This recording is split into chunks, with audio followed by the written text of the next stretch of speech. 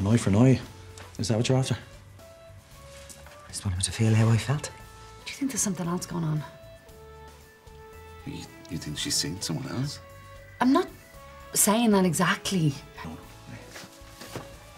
Oh, come here, should be wanting a beer.